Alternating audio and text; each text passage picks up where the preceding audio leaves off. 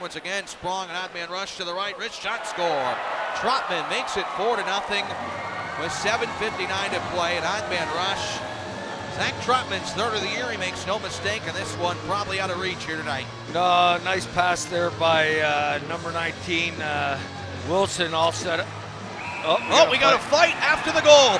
Wilson is going to go with Lewington after the goal, right in center. Tyler Lewington with the right rips bucket off of Wilson.